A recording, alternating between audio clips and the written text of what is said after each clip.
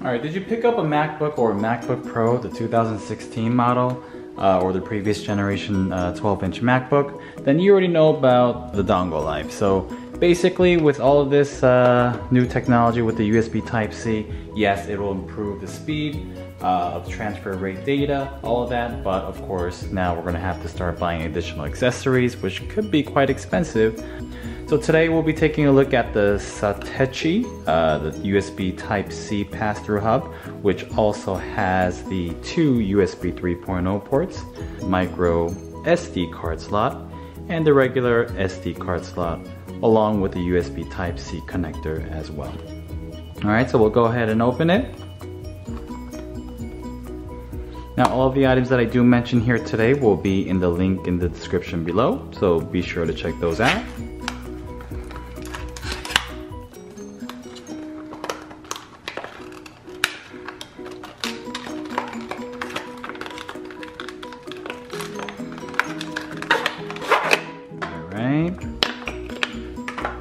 I have the space gray uh, color here, so basically it'll match my uh, MacBook Pro 2016 model. So taking a look closely, we'll see that it does show the name branding here, which shows Satechi. Alright, so now what we're going to do is we're going to use this USB Type-C port and plug it into one of the side ports here on the side. Now it could be either on either side, so we're going to go ahead and put it here.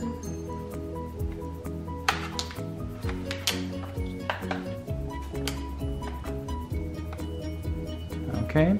So as you do plug it in, you'll notice that the blue light will blink on over here. And we also have a Apple USB Type-C to USB adapter.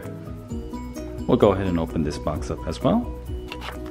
Okay, so very clean look. Here we have the USB Type-C connector to the regular USB port over here.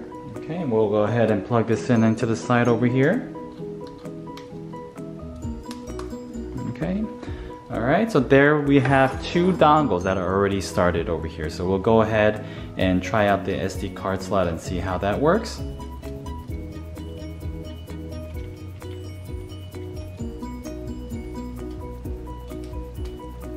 Alright, and as you plug it in, you'll see that it'll automatically pop up right over here showing that the SD card is connected. So we'll go ahead and see, take a look. And what we'll do is we'll try transferring over a media file to see how quick it is. It looks like this video file is about 160 megabytes, so it's not so large.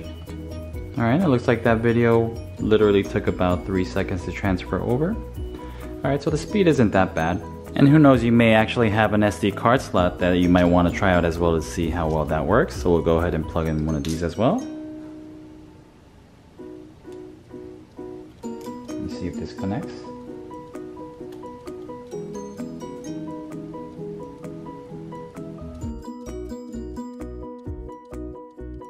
Alright, so it is very difficult. Once you plug in the SD card slot, it is very difficult to get it out. I'm not even sure if I put it in the right way. Let me see if I can use this to pull it out. Alright, so I did use that to pull it out. I'm not sure if I put it in backwards or it doesn't even really show you which way to put it in. Let me see if this works. Okay, so I'm assuming that's the way it should have worked. So the SD card slot, you gotta put it in facing up if you're plugging it in here on your left side of the Mac. The bottom SD card slot, uh, you have to put it in backwards this way in order to see if, uh, if to make it work. So let's see if that makes a difference. We'll go ahead and plug it back in. Alright, so it did work. So what you need to do is the micro SD card slot has to face upwards if you're plugging it into the left side of the Mac. And the regular SD card slot, you gotta plug it in uh, the opposite direction in order to have both of the devices working at the same time. Alright, so since we now got that out of the way, we're also what we're going to try to do is we're going to try to use the USB 3.0 ports down here on the side to see if it works with everything plugged in. So we're going to go ahead and plug in one of this USB ports here into this drive. Okay, we're going to wait to see if it pops up. And there you see it did pop up as well. And now what we're going to do is we're going to use this other port to plug in the iPhone. So gonna, let me go ahead and grab a lightning cable. So we're gonna grab this lightning cable, plug it in this USB port over here. And we're going to plug in the iPhone.